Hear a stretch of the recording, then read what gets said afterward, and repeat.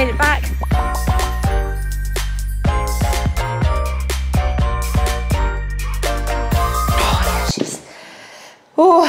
Oh, she tired. Good morning everyone, welcome back to my channel. I'm back from Vegas. Oh my goodness. I can't even believe we did it. It's a, it is a crazy thing. So we did the speed project. We ran 300 miles from LA all the way to Vegas. I landed late last night back into the UK. Bit of a slog of a journey, but we made it back. And the reason I haven't done a whole YouTube video for the speed project is because there's gonna be a big film on the speed project that BPN filmed and it's going to be absolutely incredible. So that'll be later in the year when that's releasing. I didn't want to give anything away. I'll throw some like pictures and stuff on the screen, but guys, we ran 300 miles from LA to Vegas. Body's feeling a little bit iffy today and I wanted this YouTube video. Just gonna film over the next couple of days for my recovery, how I'm getting on, what I'm doing to recover from such a, a big race. I've got London Marathon coming up in a couple of weeks straight after I've got Geneva Marathon. So got a lot going on and my body needs to feel good. Good morning, baby. They love this. I get this fluffy thing. So I've left it out. Gorgeous.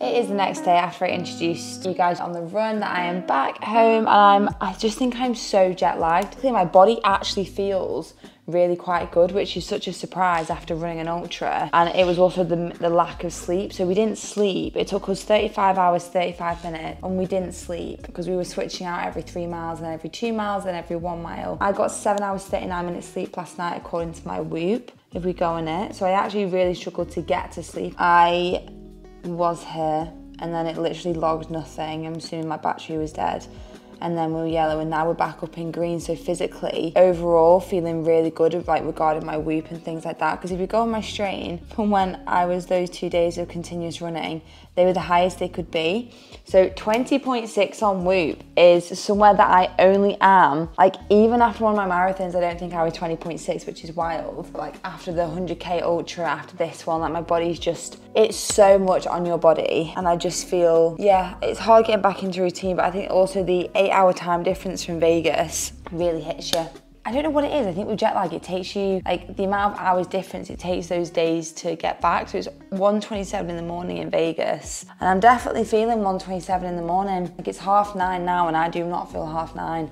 I am having a coffee, a massive huge black coffee because I just feel like I need it this morning. Uh, yesterday I did that little 6k run. It was nice, it felt super easy. My joints are a little bit hit and miss and my toes hurt. And then today I've got a lower body. I'm just gonna do it in the home gym. I'll, I'll film a little bit for you. But yeah, just going through like recovery and what I'm doing to recover essentially in the best way possible because I've got London Marathon so soon and I've got Geneva Marathon so soon after that and I just need to be need be a top form. Oh, also, you can get a free month on Whoop and the Whoop band included. My Whoop is my pride and joy. You guys know this. I have it every single day. I use it every single day. It was great, actually so great during TSP. It was really, really interesting. I love seeing how my body's reacting to these mad things that I do. And the lack of sleep, it was like, you need sleep. And I'm thinking, I know I need to sleep. I fell asleep at dinner and we ended up being up for, I think it was 42 hours. Awake for 42 hours, my Whoop was screaming at me. But yeah, you can get a free Whoop Band 4.0 and a free month on Whoop and you can trial it out with the link below. I have been running around like a crazy human all morning and it's now 11.23 and I don't know where the freaking time has even gone. We're back in business and I'm running out of time to do things today. I've got an appointment at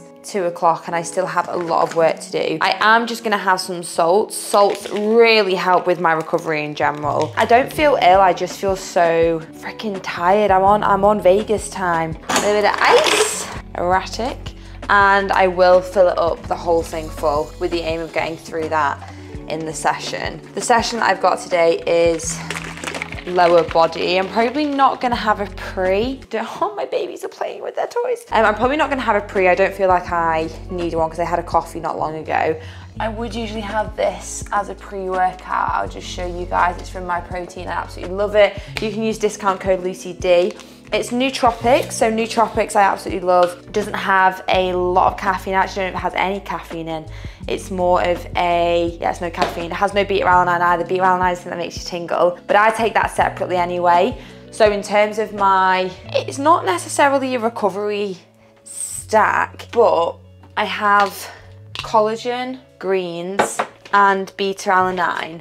Now, beta-alanine is really good for recovery and it's a supplement I take by itself. Like I don't even have it in the pre-workout. And I think I actually have seen a lot of benefits from it and I will continue to take it. But I need to get in the gym. I need to stop babbling on. I need to hit this session. I Don't know how I'm gonna feel in it, but we're just gonna go for it.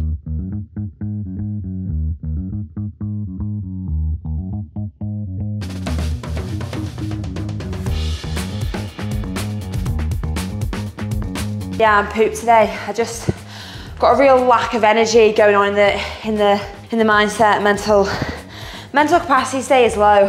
Um, so I've definitely completely just reduced the, the weights that I'm lifting. There's no point of me going ridiculously crazy today. Like all I realistically wanted to do today was do a session It feels great. And to just get a session done and that's exactly what I'm doing. The Build It Back series that I did, if you guys remember on Instagram, go follow me on Instagram if you're not already, about building back my glutes and my legs. Obviously when I do ultras and marathons, I do drop like the pump or a little bit of size. So, I mean, I've not completely lost my glutes. So my quads are really strong at the moment, but like my posterior needs a little bit of work. That's something that I'm really keen to push on with.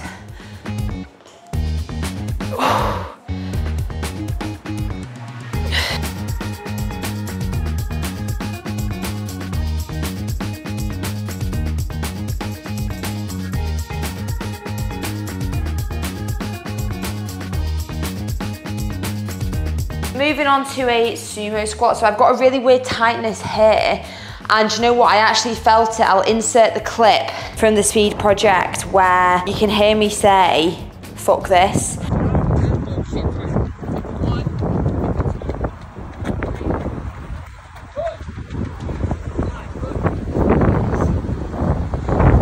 Because in all honesty, we did it we had 32 miles to go and we broke it down to mile segments. So we are doing a mile segment each and we were sprinting. I went a 350 kilometer, well, 350 kilometer pace for a mile on like my 44th mile of the ultra off no sleep. And I pounded pavements and I can really feel it like here. So I definitely need to be a little bit careful just with what I'm doing. So those step ups, I did six on this leg instead of pushing it too far.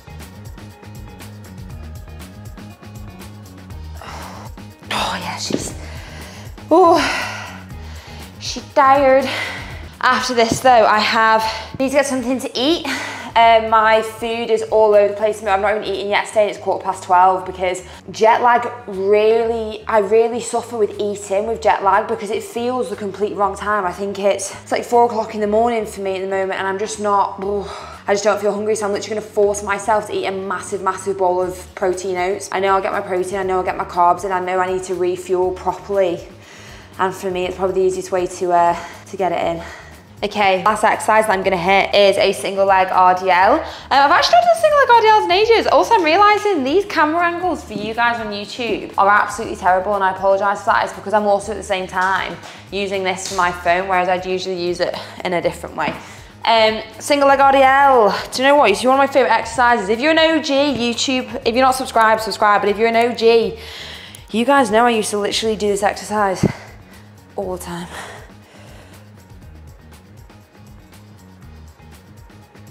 I think I might even superset it with pull-ups. I know I'm doing a lower body session, but I'm trying to build my ass back.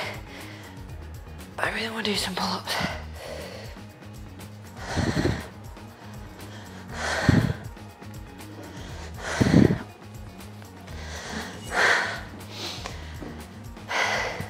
That felt good. I have just had the world's quickest body shower. Uh, we're gonna have a huge bowl of oats. I'm gonna put some nuts on it just to get my calories up in a slightly different way. Gonna have loads of fruit on it, banana, the usual, peanut butter, all that jazz, some honey, cinnamon. I'm really just gonna go a little bit ham because as I said, I'm trying to get in as many calories as possible whilst not feeling hungry. And that's just the truthful, honest opinion that when you've got jet lag or when you've just come off the back of like an ultra or something, sometimes you don't feel like you want to eat. I'm actually going to have vegan protein in it. Um, I do always have vegan protein. I'm not vegan. I have a very high meat diet, but I don't know why I've always had vegan protein. Like I actually really enjoy it. So here we are. I'm going to wait until I get back from my appointment and I'm going to have the beta alanine, the collagen, and the Myprotein greens. Again, discount code LucyD if you want to shop through those. Obviously, it is a paid partnership. I've worked Myprotein for I think like four years now, which is absolutely wild. But yeah, I'm just, I, I feel full and I've not even eaten and it's crazy. So I'm not gonna have that because the greens usually fill me up. I'm gonna have the protein oats and then when I get back, hopefully I'll feel less full. Delish.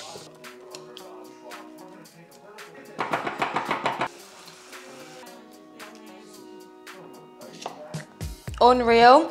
Adds a little bit of Easter chocolate on there because why not? So as you can see, massive bowl gonna go down. Just my way to my appointment. Um, shouldn't be too long, maybe like an hour out of my day, an hour and a quarter out of my day. Got to get back. Got loads of work to do to fly in my car. Got loads of work to do, and then my sister's gonna pop over. She's gonna see the kittens. She's gonna see me. I'm not seen her for a while. Maybe do sauna and ice bath. Not 100% sure yet.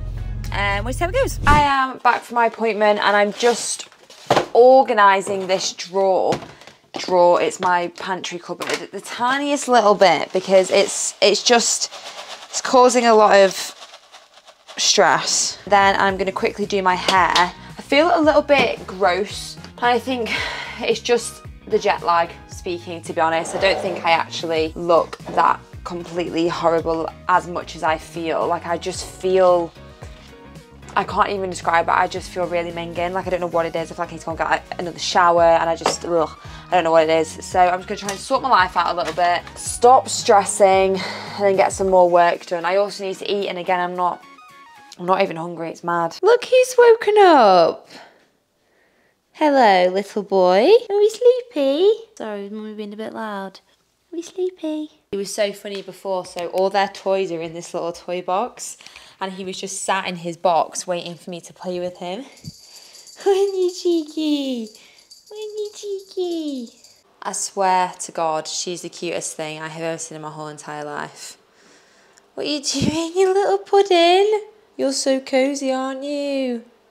I'm not going to disturb her because she just looks so cute and restful. But I am finally feeling a little bit better. I'm gonna have like a five minute stretch. I've done my hair. I feel a little bit more alive. You know what's so mad as well? Like sometimes if you do just like do your hair or I don't know, wash your face and just make yourself feel that little bit better.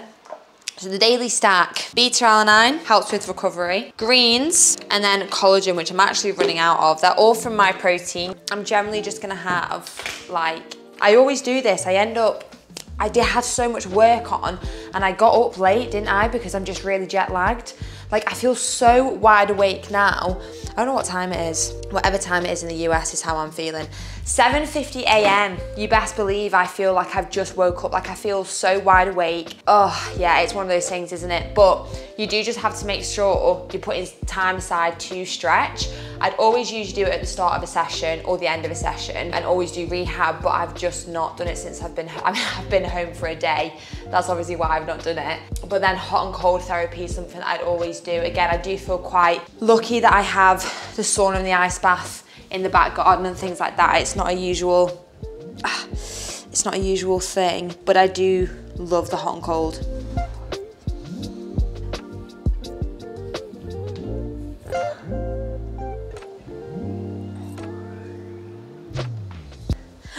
Girl, off you go. Minnie's still really, really shy. So they're only about 16 weeks. Still very, very shy. He's actually not. He's pretty confident. We were having a cuddle last night, but she's definitely still, not right now, but she's actually pretty timid. And we're just, we're not rushing it with them. It's like some people when they get kittens, they like throw them around and they pick them up straight away. But ours are really sensitive and we just don't want to ruin that relationship that we've got with them. So yeah, she's in the toy box, she's having a ball, and I have so much more work to crack on with. So I'm just gonna crack on.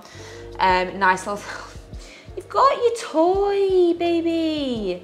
She's having a great time with that toy. I've got so much work to do. I'm just gonna crack on. I'm gonna put a bit of music on and I'm just gonna aim to get this done in the next like two hours. It's quite hard when you've been away and you are a business owner because even though like we we do have a team back home looking after the app and the podcast and we've pre-filmed and Lucy Davis Fit content was fine because that was kind of what I was doing out there anyway. I feel really overwhelmed when I get home and I've got so much to do, but I'm just trying to stay really calm. Um, also, guys, I know girlies who are listening to this will completely appreciate. I was on contraception for quite a few years and I came off last August because obviously me and Ben this year at some point um, probably want to try for a baby. And I came on my period. Bear in mind, I've not had a period for five years because I've been on contraception. I came on my period during the speed project um, between, so we were off-road for like seven hours in these trucks and I felt really weird. We met at this like meeting point where the RVs are before we went off-road again for 80 miles in the Jeeps. And that point is when I came on my period. Can, you couldn't even write it. You couldn't even write it. So I've definitely felt um, really weird first period that I've had in about five years, I knew I was gonna feel a certain type of way. But yeah, it hit me, um, hit me a lot harder than I expected. I just had some sourdough toast and I realised I didn't even show you guys because I was so, I got really hungry, I got overwhelmed with hungriness. Um, and as you can see, I'm still working because I've got so much to do. But Megan is on her way over, which is absolutely wonderful and lovely. I, I really struggle after these sort of big races um, emotionally. I get really emotional when they're finished or when I have to come home. And it's that whole thing, you know, where you have, you're on such a high and then you kind of drop back down to life and it hits sometimes a little bit different. I also think my period will have really affected my emotions considering I've not had a period in like five years. I think it will have hit really quite hard. Um, but yeah, I'm just waiting for Meg to come over. I'm not sure what we're doing for food yet. I think we'll probably order something or maybe cook something together. Uh, but I'm super glad she's coming over because Ben's not here at the moment. He literally left the next morning after we got back from Vegas because he's gone to get his tattoo. He's getting a sleeve and it's the sexiest thing I've ever, ever seen in my whole entire life, but I'm not gonna lie to you. Um, so yeah, I'm, I feel a little bit lonely, so Meg offered to, uh, to come over, which is nice.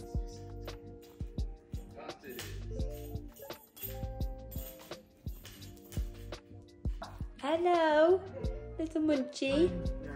We have ordered some pasta and we're just waiting for food. We've had a very chilled evening doing this, just catching up, playing with the kittens. He got all cute before and he was all cuddly. Um, but I'm not sure where Minnie's gone. She's never on camera. But we're just gonna wait for our pasta.